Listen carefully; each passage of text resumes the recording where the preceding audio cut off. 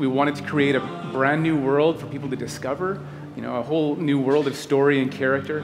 But we also wanted to do something that was, you know, more of a dynamic and living world, a game that would change every time you came back and played it.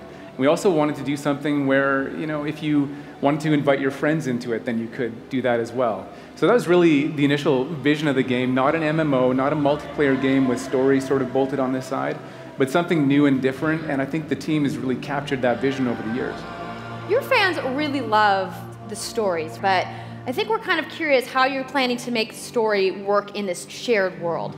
So a great story is really about characters that you can have a connection with, um, choices you get to make, and feeling like the story is about you.